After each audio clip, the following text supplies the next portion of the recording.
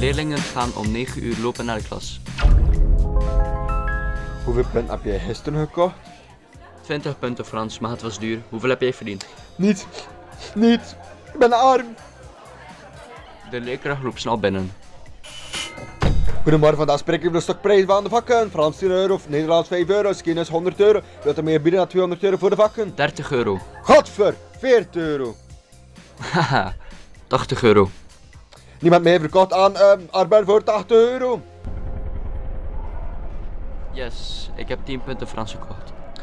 Ja. Ik ga niets kunnen kopen. Door de stokprijzen word ik zeer arm. Wil je anders wat geld lenen? Ik kan je eigenlijk kunnen terugbetalen.